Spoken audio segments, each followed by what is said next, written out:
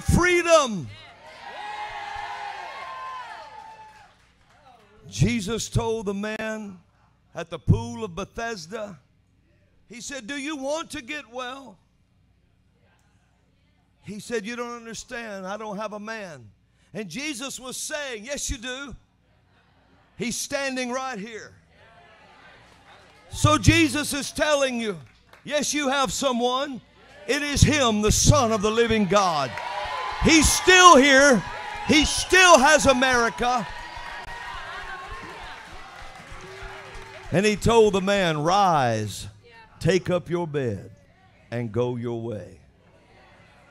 Rise, he said. You have to rise up in spirit. Hallelujah. You have a God, a real one, and the world is about to find it out. Hallelujah. Watch the greatest might that a man has in his submarines and watch what takes place. You have a God, and the world is about to know it. Hallelujah. Well, give the Lord a praise in the house.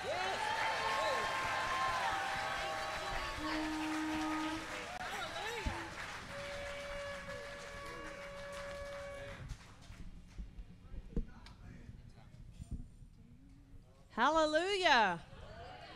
Ooh, how many is still excited? How many is excited from last night still? The excitement just stayed with us all day. I'm telling you, it, it, it transferred into the 11th hour today.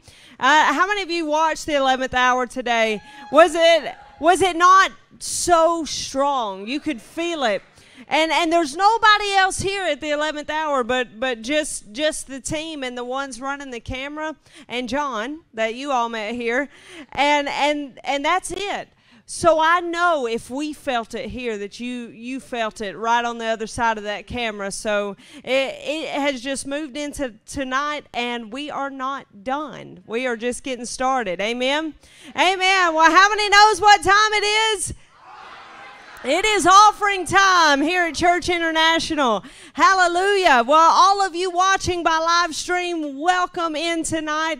We just want to say how honored we are that you would tune in with us and that you would join this celebration. It is such a joy to have you here with us. And remember, like always, just because you are not here physically does not mean you are any less a part of what God is doing in this place tonight. You just simply stretch your hands toward wherever you're watching, and we send it straight through the camera, and you just say, I receive it in Jesus' name, and you become a partaker of what is going on in this this building tonight.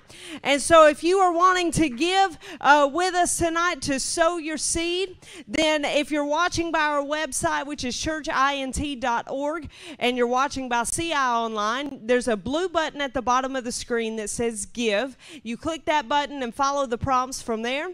Also, if you're watching by YouTube, the link is in the description. You click that link, follow those prompts from there. Also, if you're here physically or watching by live live stream, we have text to give. And the number is on the screen, or you can look that up on our website also. That is safe, easy, and secure in a way that you can participate in this corporate time of worship. Amen. Amen. So, as you're getting your seed together, and also you can do the old fashioned way with an envelope. And if you need an envelope, raise your hand if you don't have one, and somebody will see to it that you get one.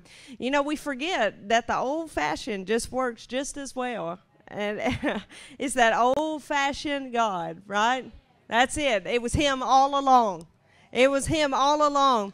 Well, tonight I began to to ponder last as soon as I got home, I was like, Lord, I was like, it was a it was a great message that that you gave over the offering last last night. I said, I said, what what else is there to say?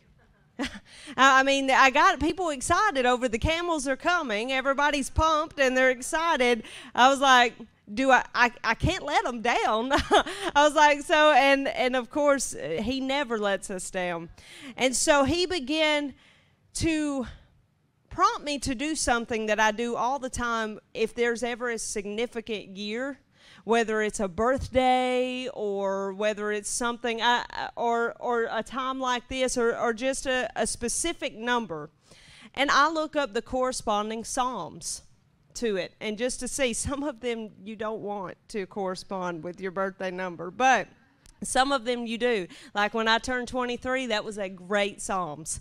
But um, it, you know you you look and you correspond with everything and i, I began to to look up psalm 22 and psalm 22 is what the psalmist recorded what Jesus said on the cross.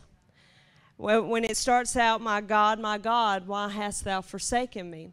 And he begins to go on down the line and he begins to explain what is happening to him as he's dying. That is what the 22nd Psalm is. And it, it, didn't even occur to me when I looked up Psalms 22. It didn't occur to me that that's what it is, and I've, I've read it my entire life.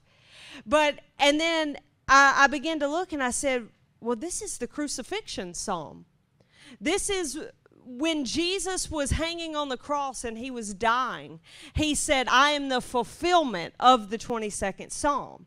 That's what he was saying in the scripture because everything that the psalmist David recorded is what Jesus said years later on the cross. And he was telling everyone as he quoted it out loud, I am the 22nd psalm. I am the fulfillment of this. This is what is happening to me right now. He talks about the bulls of Bashan uh, coming up and he talks about the dogs and, and he, he's talking about these things things that are trying to rip his, his soul, his spirit out of his body. He starts to talk about how his heart is melting like wax into his stomach. He said, I'm nothing but a worm.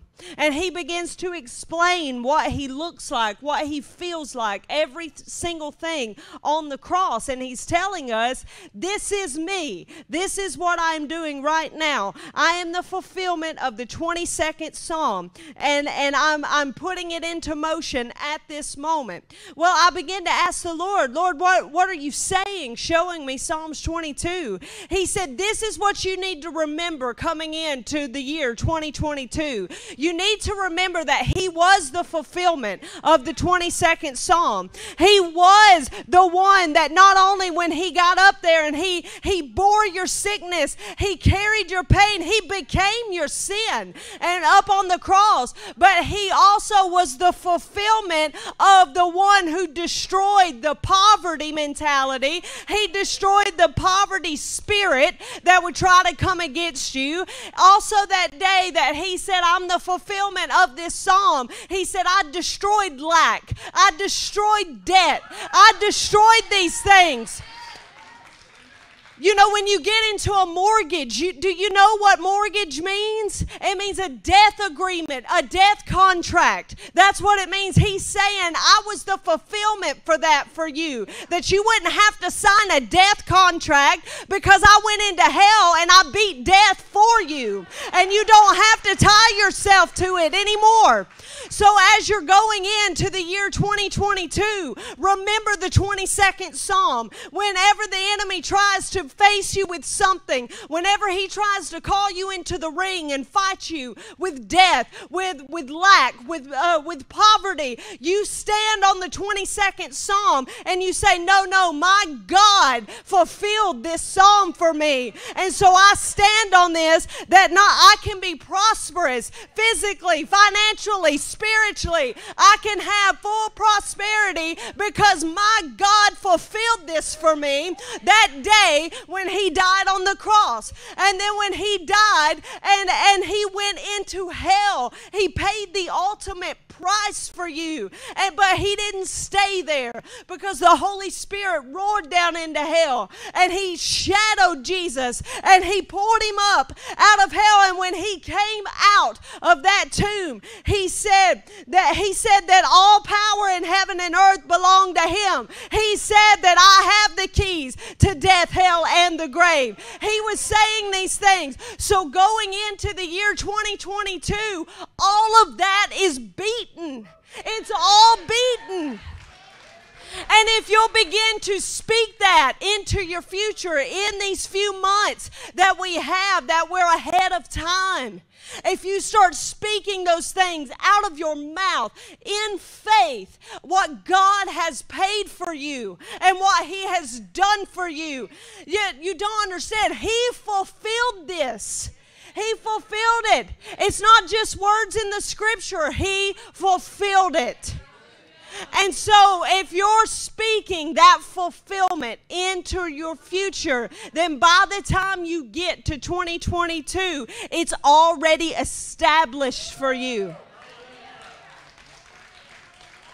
So, tonight, as we give and as we sow, remember what He paid for you. Remember, He doesn't want you in lack. He doesn't want you in poverty. He doesn't want you in a death agreement. You know, you might have that might have been where your faith was at at the moment. And because he is an absolute good and merciful and gracious God, he met you where your faith was. But as you grow in the wisdom uh, and the knowledge of who God is and what He did for you and, and what He is continuing to do and who you are as, as a part of His body and who you are in Christ Jesus, then your faith level begins to rise. And when it rises, God meets you at every level where your faith is. And so one day you're going to get to the level where it was your only faith was to be in a death agreement. But now it's to obliterate that contract and to obliterate that death agreement. And guess what? God is there to meet you where your faith is. So if it is in your dream, if it is in your vision to get out of that death agreement in 2022, whether it be with your house, whether it be with your car, whether it be just to have a steady paying job in 2022, then you start declaring that. Why? Start declaring what he did for you in the 22nd Psalm. And when the enemy says, No, you can't do this, no, you can't have this, you say, Wait a second. This says that my God did this for me.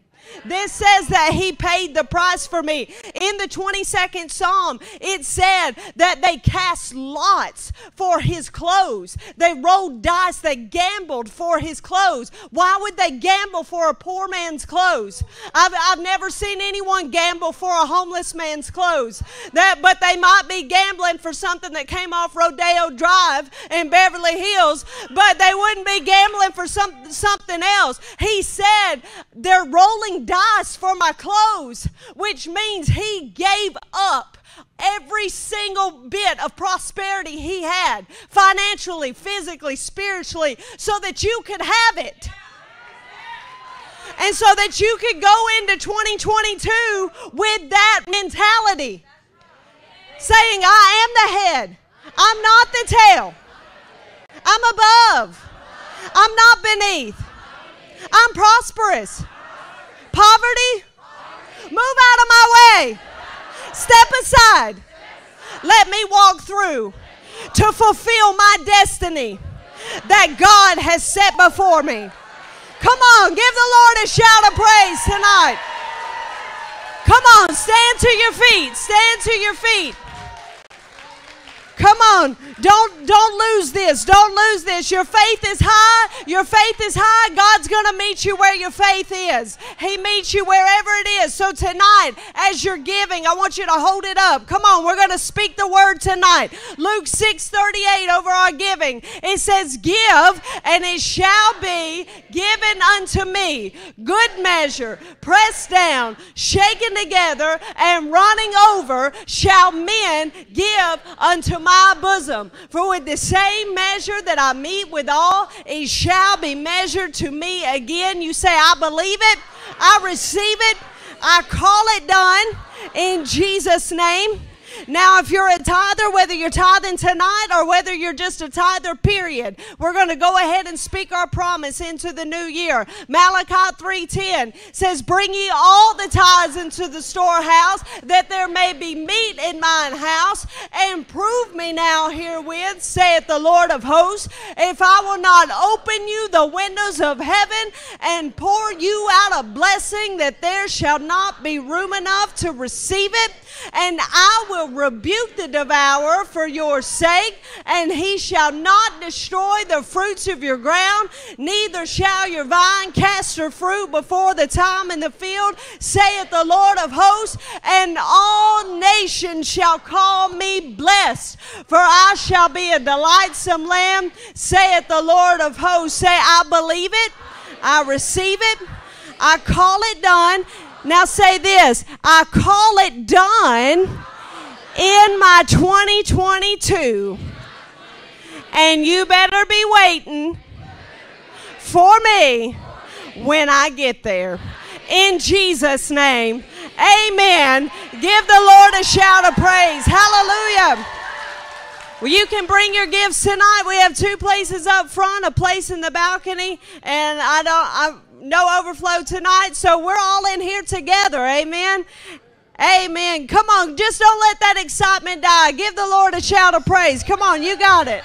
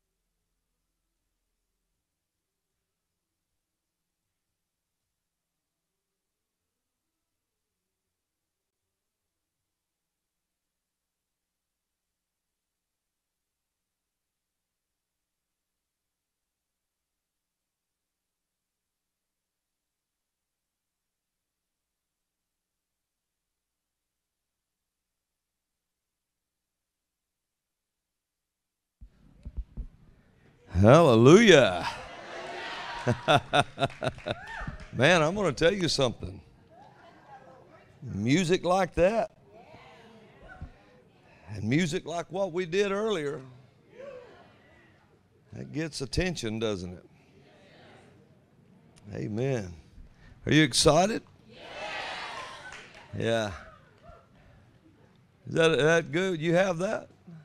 Yeah, play a little bit of that right quick. Just just just for just because it just came up in my spirit. Yeah, just turn it up though. Be sure it's up when you start it.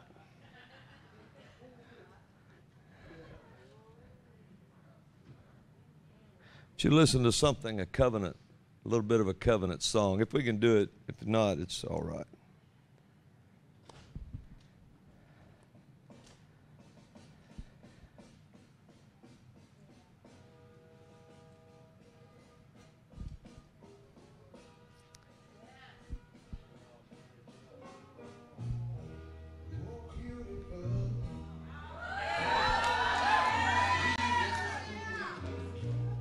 Oh, yeah.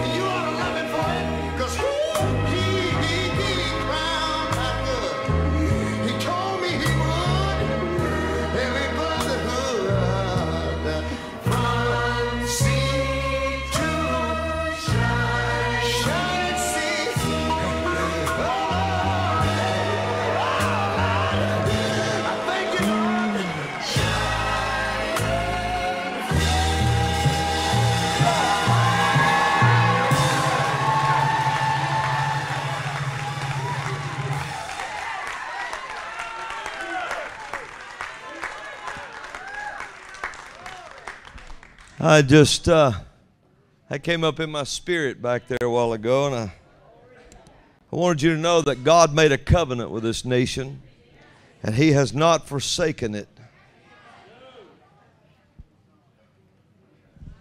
Maybe I can tell you something in a few minutes. The Lord gives me, gets me there where I can. Hallelujah. All right, you got your Bibles with you? All right, we're about to go somewhere now. Hold it up like this, give the devil a nervous breakdown. Oh, yeah.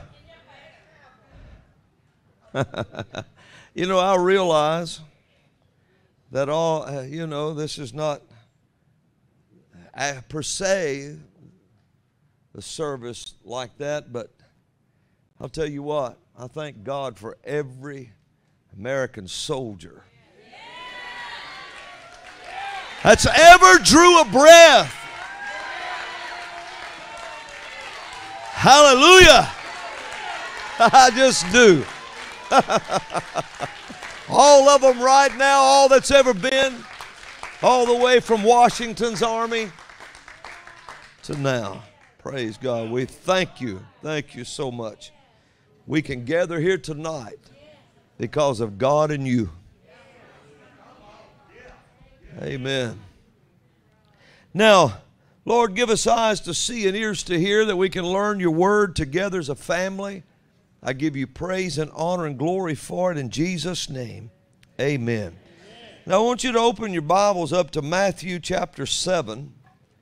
and um, we're going to head somewhere tonight. And we're going to, I don't know how long it's going to take us to get there, but we're headed there. Look at your neighbor and say, We're headed there. Amen. Amen. Matthew chapter 7. Praise God.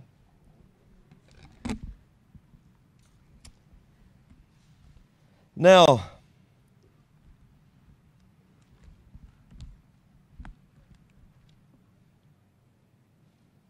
let's start in verse 13. No, well, we'll start in verse 10. Or if he ask a fish, will he give him? This is Matthew chapter 7. Yeah. And if he ask a fish, will he give him a serpent? If ye then, being evil, know how to give good gifts unto your children, how much more shall your Father which is in heaven give good things to them that ask him? Therefore, because of this, all things whatsoever you would that men should do to you, do ye even so to them. For this is the law and the prophets. Then he starts talking about the prophets. Enter ye in at the straight gate, for wide is the gate and broad is the way that leadeth to destruction. And many there be which go in thereat. Because straight is the gate and narrow is the way which leadeth unto life, and few there be that find it. Now, it seems like that suddenly he just starts talking about something, but actually, he's already mentioned the prophets. Then he starts in verse 15 Beware of false prophets, which come to you in sheep's clothing, but inwardly they are ravening wolves. Now, notice this. Then he comes on and he says, You shall know them by their fruits. Do men gather grapes of thorns or figs of thistles? Even so, every good tree bringeth forth good fruit. But a corrupt tree bringeth forth evil fruit. A good tree cannot bring forth evil fruit, neither can a corrupt tree bring forth good fruit. Every tree that bringeth not forth good fruit is hewn down and cast into the fire. Wherefore, by their fruits you shall know them. Not every one that saith unto me, Lord, Lord, shall enter into the kingdom of heaven, but he that doeth the will of my Father which is in heaven.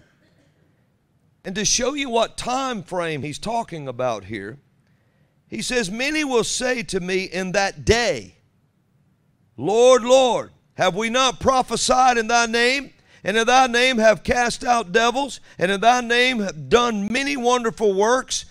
And then will I profess unto them, I never knew you.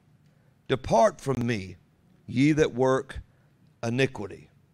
Now, I want you to, to notice something. Here in Matthew 7 15, he's talking about false prophets. It's false prophets. And notice it said they come in in sheep's clothing, but inwardly they are ravening wolves. You'll know them by their fruit. Now, would you listen to this? This is talking about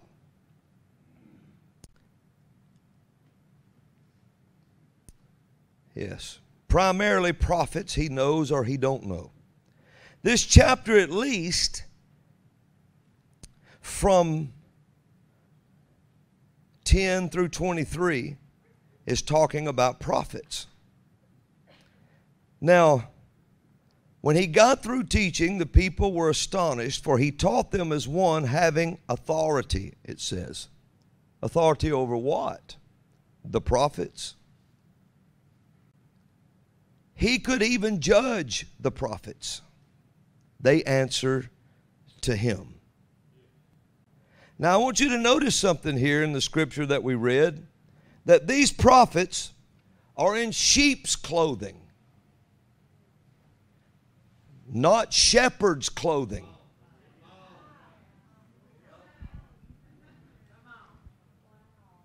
See, they come in, and people always say, well, you know, they'll look at a pastor or something, they'll say, false prophet, false prophet, wolf in sheep's clothing. Wait a minute. Sheep is not the shepherd. So the false prophets come in among the congregations.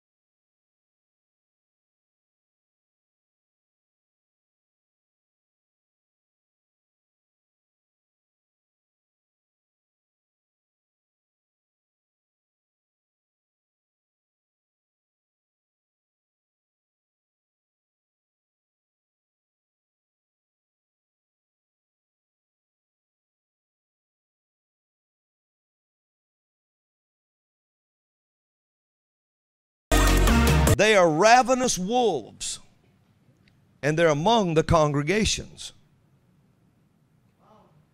They like to infiltrate there.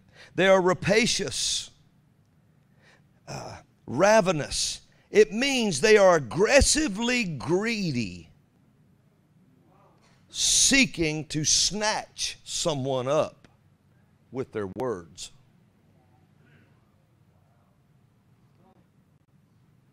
Now, well, I'm going to teach a minute and we'll get there. It means they're an extortioner, a robber. It also means to catch up or to take by force, to catch away, to pluck, to catch, to pull, to claim for oneself eagerly. It's the same word we use for catching away the church. It said these false prophets come in to catch you up.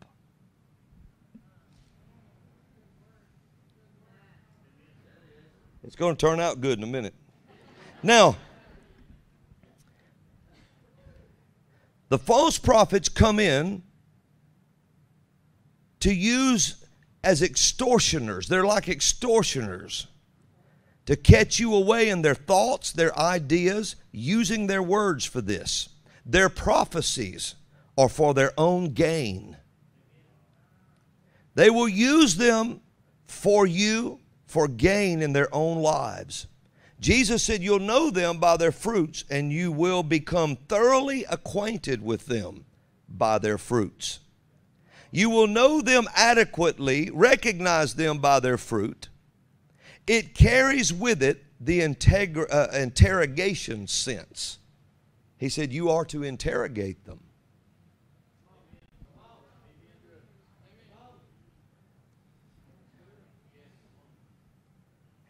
Now remember, this is all going on in the congregation, not on the pulpit. Oh, well, Brother Robin, you got to give us, make a shout here. Now, I, I will, just hang on. Okay, to interrogate, question, you'll know them. You will perceive them by inter- interrogation. Ask questions because inside these false prophets are cruel, greedy, rapacious, destructive men. But it also has an akin word to it in the Greek, which talks about light. Now we're about to make a jump now. Remember, he's talking about in the last days.